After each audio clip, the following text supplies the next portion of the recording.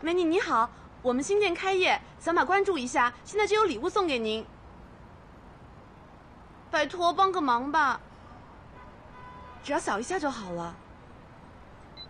点一下关注。哇，您是第九十九个扫码关注的人，您中奖了。稍等，我去给您拿一下奖品。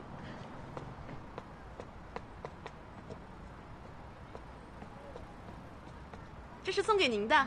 不要了，谢谢。拿着吧，真的不要钱。您运气真好，记得关注我们 APP。谢谢。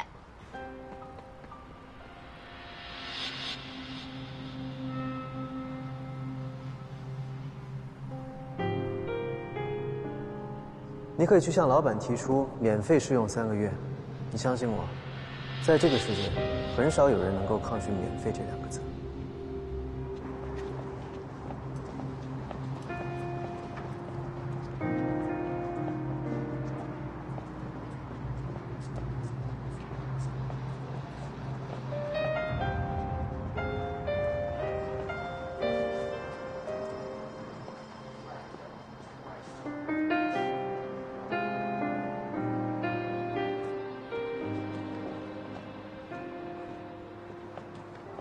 嗯，聘书。成功了。嗯，恭喜你啊！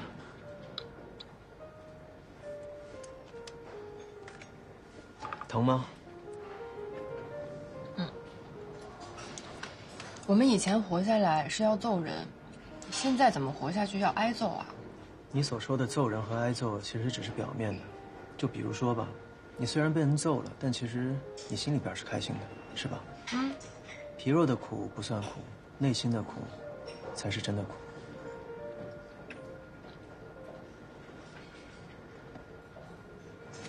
路上碰见人送的。推销。嗯。哦，对了，哥，你说我答应老板前三个月不要工资，是不是被人占便宜了呀？你不一样是占人便宜了吗？我看看。嗯。你还真以为你占人便宜了？商家获取单个用户的成本高达百元，你这只杯子，十块。我上当受骗了？也不全是吧。你记住，任何事情，只要是能看见数字的，那么这件事情本身也就板上钉钉了。最可怕的是那些看不见数字、没有报价的。哥，你现在说话我越来越听不懂。这么说吧，聘用一个格斗教师，一个月的工资加上人事开销最多一万。你表面上损失了工资，但你一旦入职，一方面可以积累工作经验，另一方面你可以观察和学习他是怎么经营的。你得到的其实远远不止他节约的费用。嗯，有道理。浩哥，你那边怎么样了？我不用担心，管好你自己。谁难受了？你又不是故意的，你别哭了。现在这事怎么说还不知道呢啊！谁还不知错就改啊？人都会犯错的嘛，是吧？你看你长得这么漂亮，哭都不好看了呀。装的哭啊！啊！哭了，哭了。孙老师知道他昨天的事了，要劝退他。你不要难受了，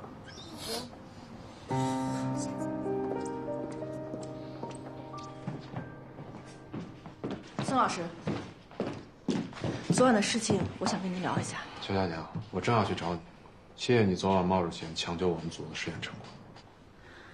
孙老师是真的想感谢我吗？当然，那我希望您看在我的面子上，不要让谢逍遥走了。这不可能，不用为他小心。我不是替他求情，我只是觉得，虽然笑笑是名研究员，这样的错误他不该犯，但是责任不在他。那你是什么意思？据我所知，笑笑为了得到你希望的结果，最近一直在加班，而你们组也分派了不同的人进行了几次实验，但是结果都不一致。难道这是谢笑笑的原因吗？你们的 protocol 是不是有什么不确定的地方或者是漏洞呢？宋老师，谢笑笑太想得到你的肯定了，所以才会没日没夜的加班，精神紧张，才会失手打翻了试剂，酿成火灾的。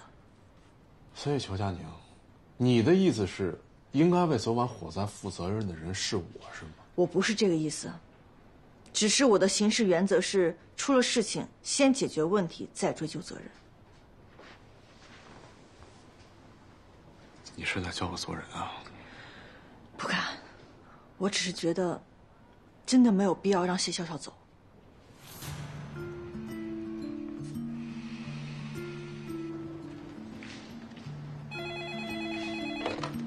喂，啊，孙老师。哦，好好。孙老师让我们去会议室开会，干嘛呀？不知道啊。哎，对了，赵小山你也要去？我，嗯，你们组开会，我去干嘛？邱佳宁也在。开大会啊！估计实验室进行安全教育吧。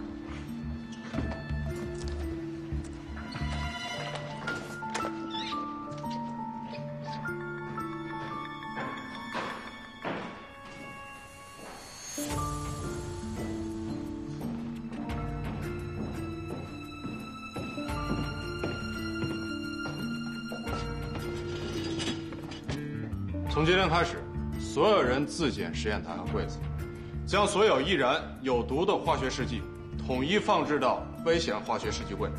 我将派专人负责监督和检查。从今以后的实验，大家一定铭记安全第一。实验所得的数据也请第一时间拍照上传到实验室的数据库内保存。样品等实验材料也请及时处理，统一放置到保存处。另外，针对火灾预警，今天下午三点，公司特意请了消防处的消防员，给大家讲解火灾的预防与应急措施。请大家处理好手头实验，准时参加。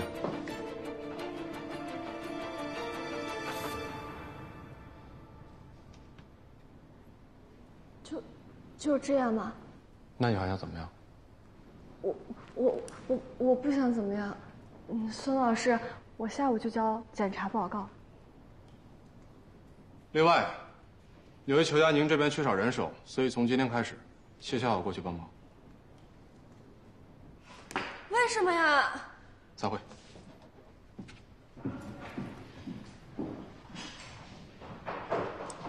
邱佳宁，你等一下。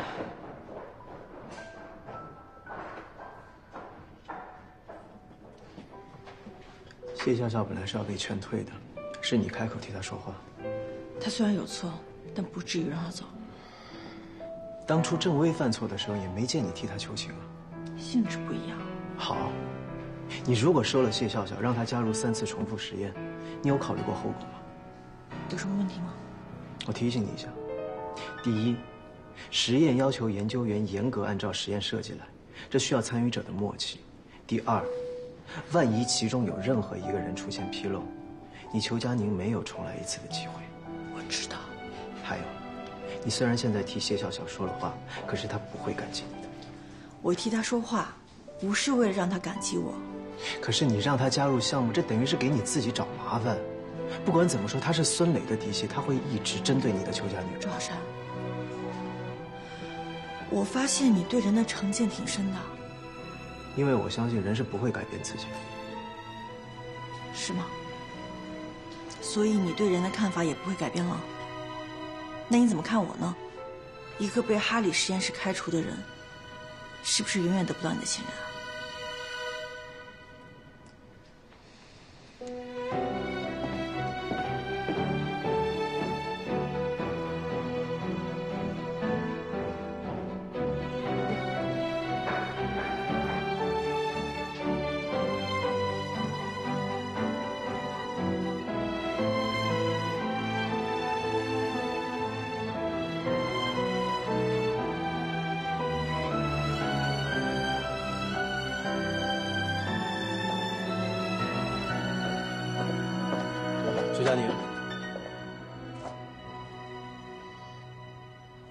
什么时候可以开始细胞实验？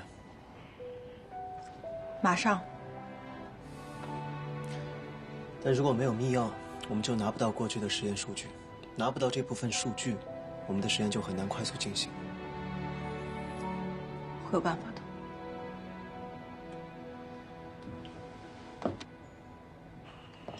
但是你别忘了，你只有三个月的时间。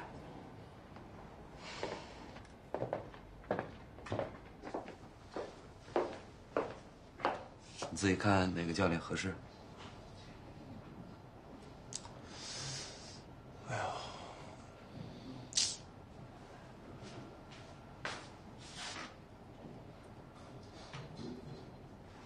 哎，嗯，其他都太壮了，那个还挺好的。哦，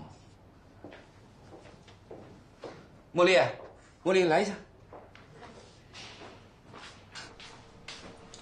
老板，哎，李先生，我来介绍一下，这是咱们学院的茉莉教练，这是咱们客户李先生。你好。以后就茉莉教练陪你练，好吧？嗯。那你准备一下，我去格斗馆等你。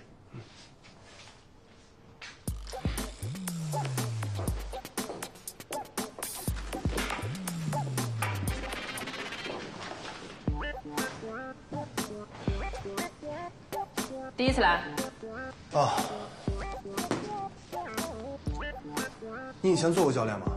少废话，快点。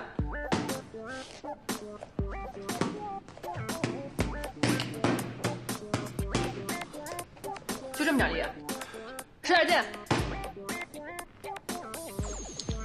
你都受伤了，我害怕我再伤着你啊。少管闲事。开始。你确定吗？确定。那我就开始了。开始。对不起，我错了。妈的，我这就去改，一句怨言也没有。你不就想要五彩斑斓的黑吗？我满足你。好好，就这样。对你爸爸有什么了不起啊？让我熬夜十天，定金都不给，就知道鸡蛋里挑骨头。我呢，头发都掉了，有谁在意过？啊啊啊啊啊啊啊！时间到了，开课。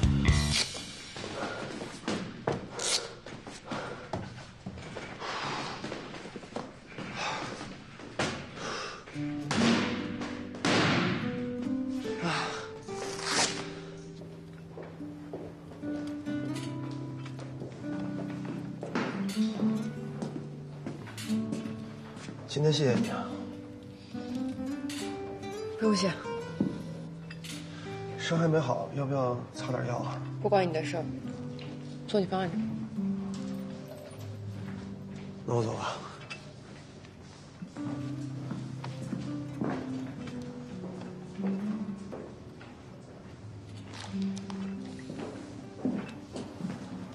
那用这个吧，哥，伤好的快。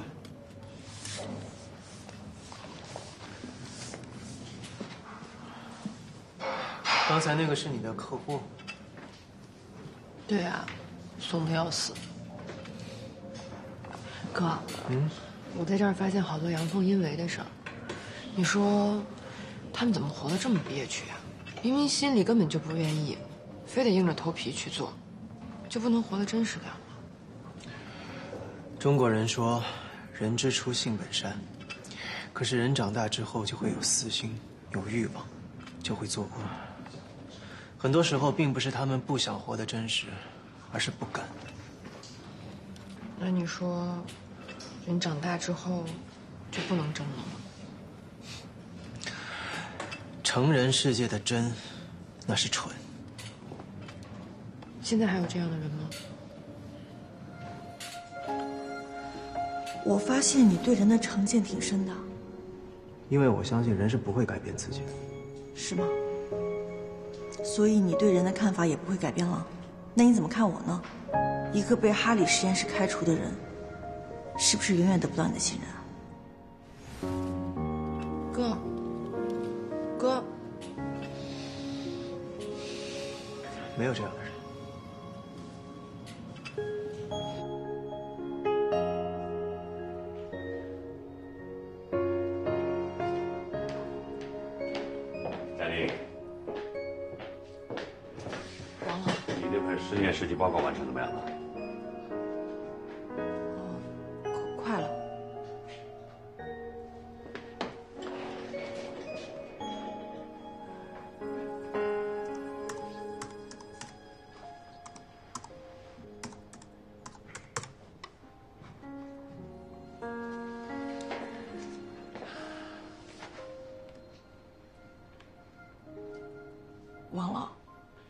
你没有密钥，拿不到数据，你怎么完成你这个实验设计啊？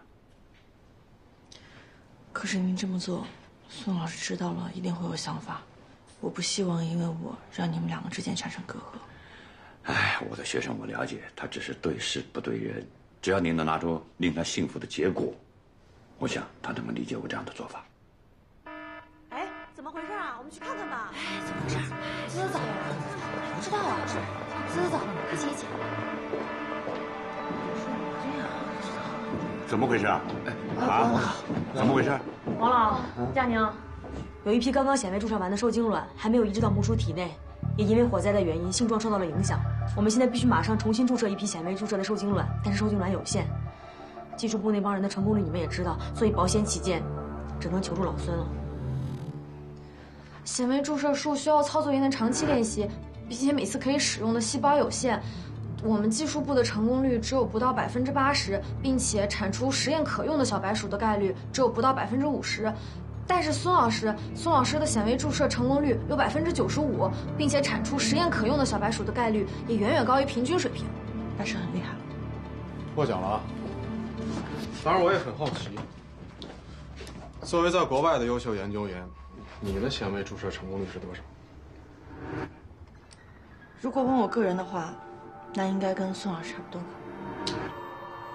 包老，嗯，那干脆这样，我就跟裘佳宁一起操作，一来加快速度，二来也让大家学习一下。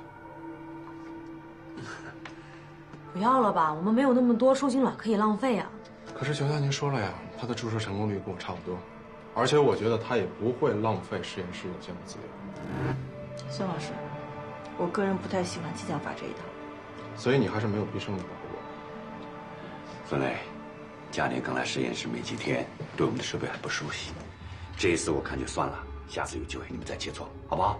不过，我喜欢主动下战书。孙老师，我的战书您接吗？接。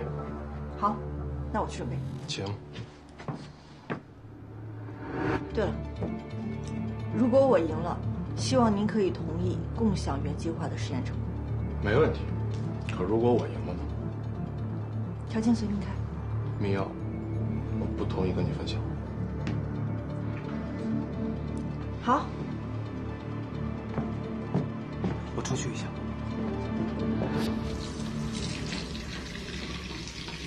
曲佳宁，你别冲动。冲动？你完全可以不用这种方式来获得密钥。那你说，我应该怎么拿到密钥？让王老师借给我吗？赵小山，我现在的处境，王老能够勉强留下我，已经很为难了。我不想再给他添麻烦。如果你输了怎么办？你是怕我输？我不是怕你输。对，作为协助我的同事，如果我输了，你也会受影响吧？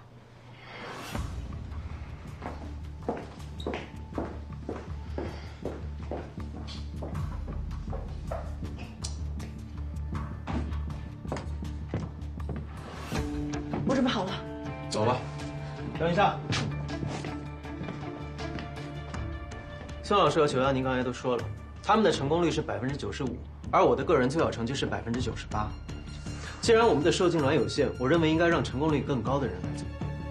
可惜真的不小啊，周小山，这没你的事儿。孙老师敢和我比试一下？那既然是比试，就应该有代价。裘佳宁说了，他如果输了就放弃迷药，你怎么说？孙老师想怎么样？如果你输了，就请离开实验室。赵小山，这不是开玩笑的。你怕了吗？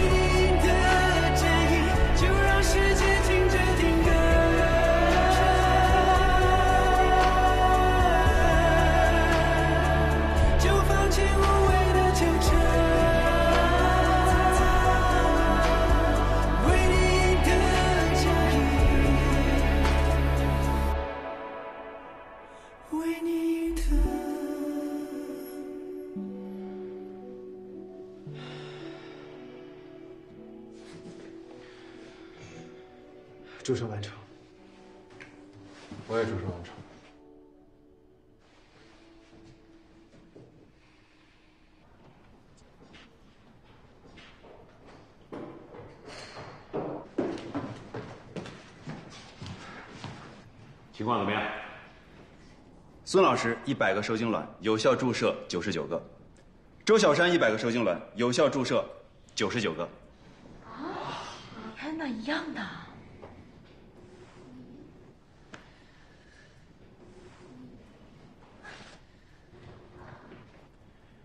打了一个平手，这是一场高手对决，让我们大家都开开了眼界啊！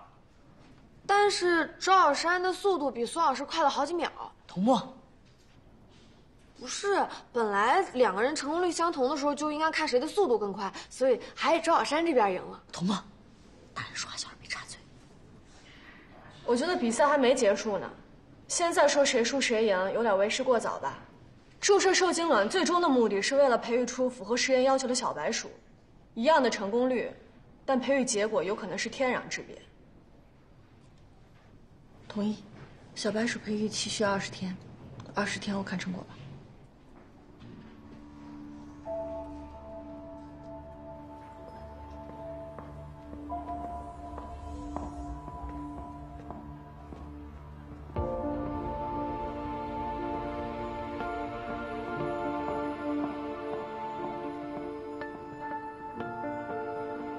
赵山，能告诉我是为什么这么做吗？请你相信我，我不是你想的那种人。我也是因为相信你，才选择支持你。如果你真的相信我，就不会在最后关头选择亲自应战孙老师。你知道自己技术不错，你有把握能够赢孙老师，但是你没有把握我能赢孙老师。你误会我了，我没有这么想。自从我提出了新的实验思路，我就觉得你非常的急躁。你能告诉我是为什么吗？我不希望你成为第二个郑薇。你把我跟郑薇拿来比，我只是想提醒你，科研的本质是推进人类文明的进程，不是当任何人的垫脚石。虽然我和孙老师在学术上有分歧，但是对工作的认知这一点，我们是一致的。时间会证明一切的。但愿。结果出来还有二十天的时间，这期间，我希望你能够先完成三次衍射图谱的数据分析和总结，每五天我们讨论一次，希望在二十天之后，我们能有一个完善的计划。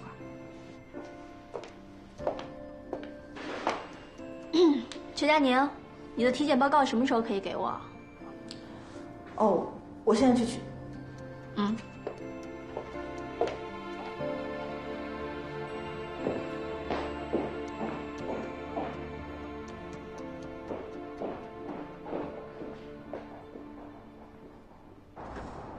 喂，嘉欣，体检报告你是给我取了吗？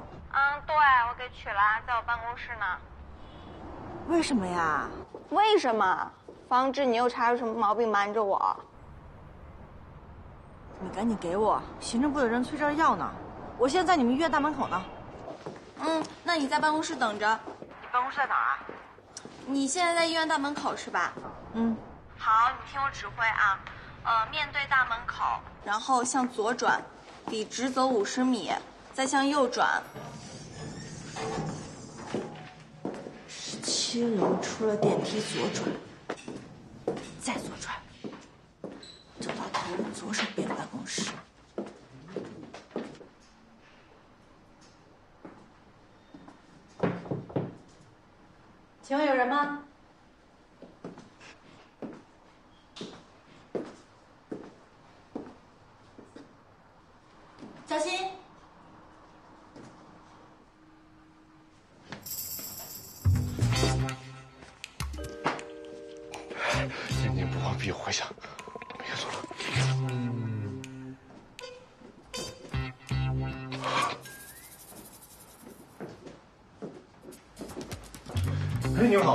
是病人家属还是？是你啊？哦，如果是病人家属的话，我希望您可以留一个电话给我，这样的话，如果病人有什么事，我可以马上联系你。留一个电话给我吧。你误会了，没事。留你个大头鬼啊！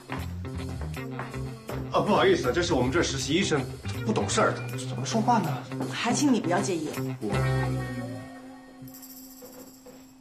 你你们师傅，介绍一下，这位就是您口中在实验室洗试管的我姐姐。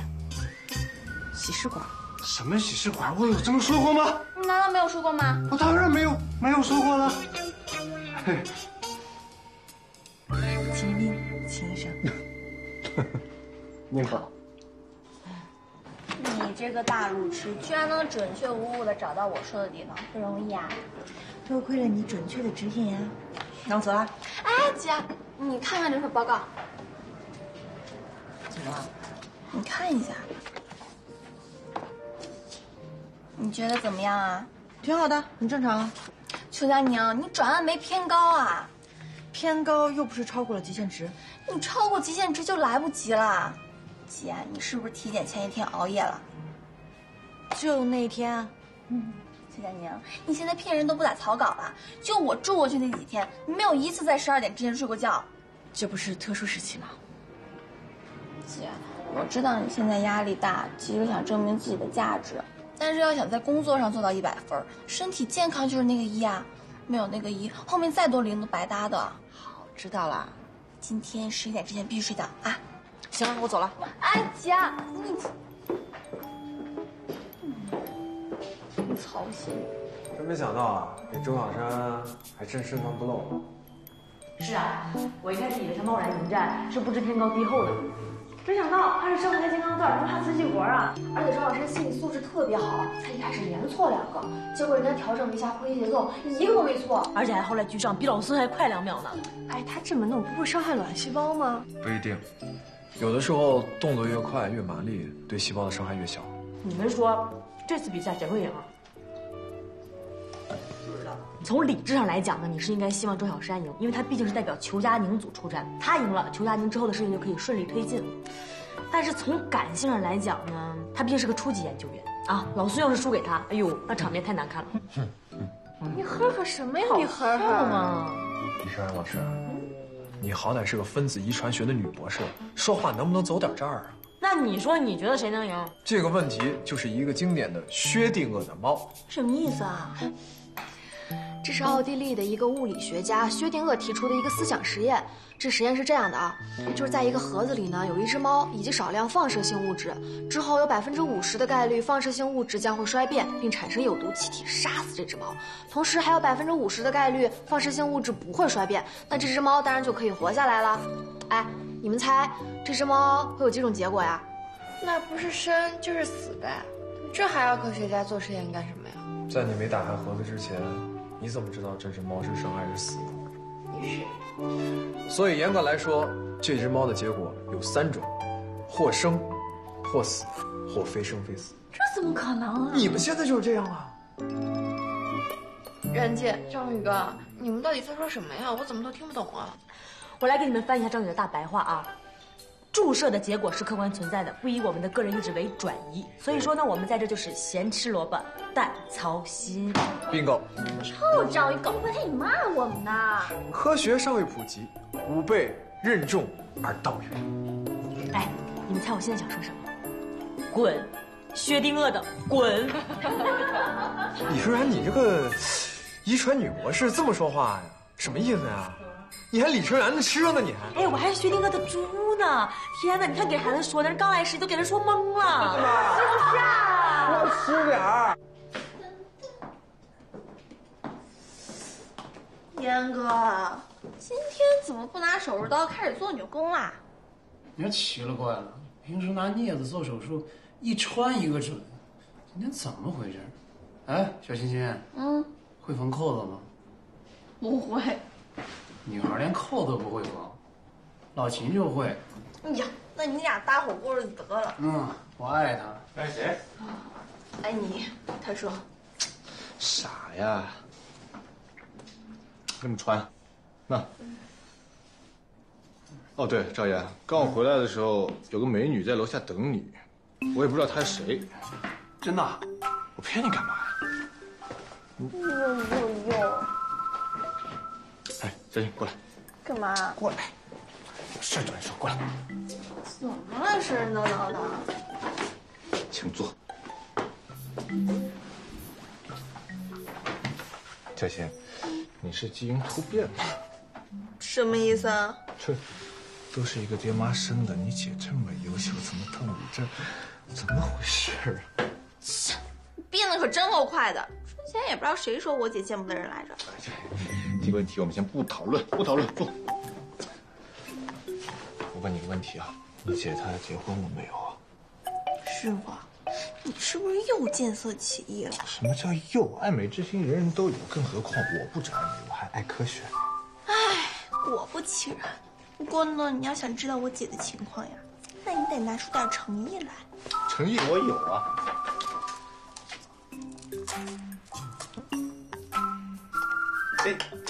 蜜苦果汁茶，桃桃红柚味，请你喝。嗯，好喝。好喝，快说吧。那我告诉你，我姐没有结婚。就知道她有男朋友吗？哎呀，自从我做了医生，就剥夺了我 做美甲的权利。我知道，我知道。来来来，金桔柠檬味的也给你，行吗？嗯嗯，呃，也没有男朋友。那就是说她是自由身了，我就可以放肆大胆的追求她了。嘉欣，我要你帮我追你姐，这就不是一两杯果汁茶的事儿。条件随便你提。嗯，我想想啊，这样，每个味道我给你买一箱。这个嘛，还要考虑吗？蜜谷果汁茶现在最畅销流行的。嗯，那你先把 Miko 下单了再说。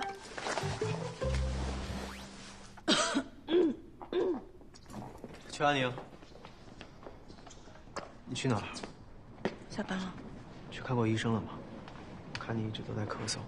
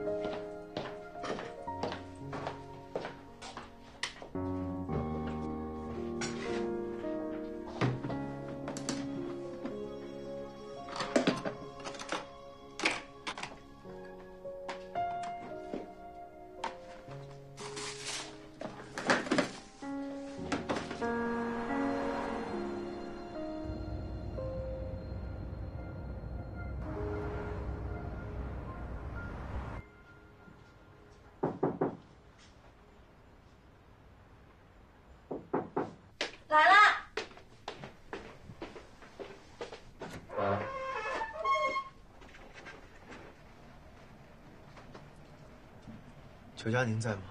你找我姐啊？嗯，她刚出去了，你找她什么事儿啊？她什么时候回来？这个她没说。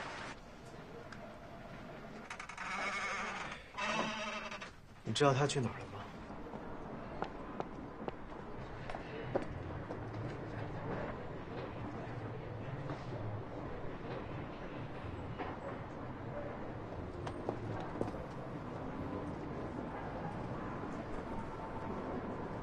你怎么突然回来啦？想你啦。鬼才是你说的话。你说你一个女科学家，跑到酒吧来干嘛呀？女科学家就不能来酒吧，就不能有你这样仙女般的朋友啦？行啊，能喝的呀。姐夫，给你佳宁姐上杯轰炸机。哎，不用了，谢谢。我来喝果汁啊。去了国外几年，变成小白兔了。年纪大了，烈酒伤身，受不了。哎，谁呀？哎，来了，坐坐坐。你忙吧？我先走了。别呀，你刚来。反正已经接上头了，过两天来找你。那你一定要记得来找我啊！知道了，别骗我啊！嗯，走了，路上慢点啊！哎，我先走一步，先走一步啊！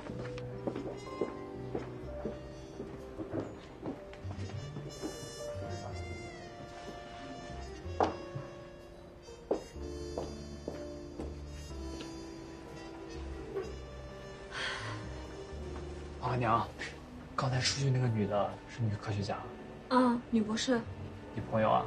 我闺蜜。我才不信呢！你一个大学都没考上的差生，还有女博士闺蜜啊。傅渊博，你少狗眼看人低了。名牌大学毕业的怎么样？还不是在我这儿打工？你要再多嘴，我就把你这个月的奖金给你扣光。就知道拿这个欺负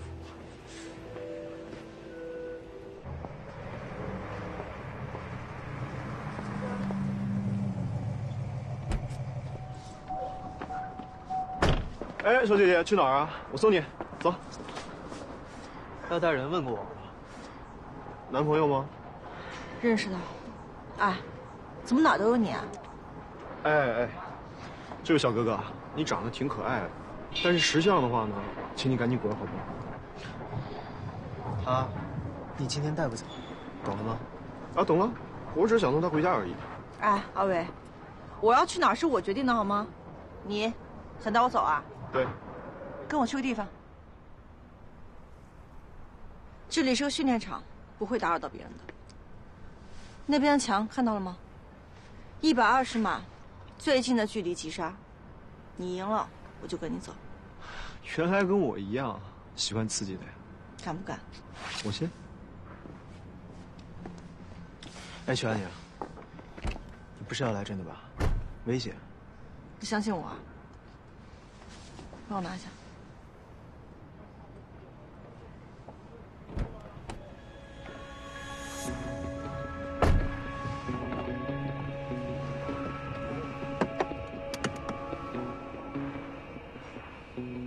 走着。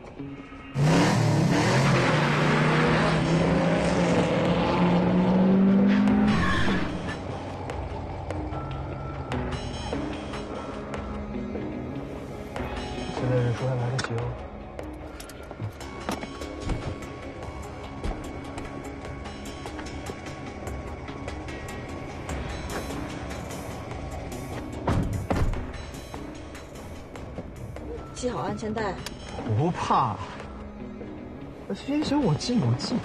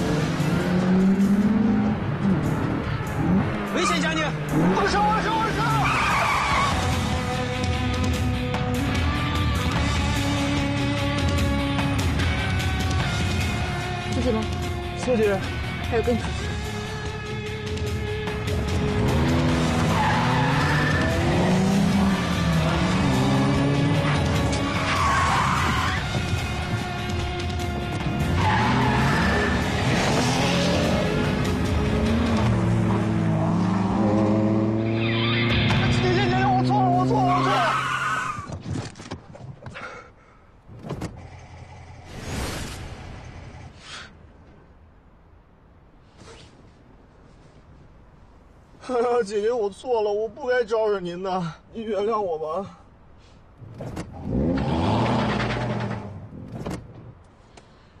车是不错，人怂了点。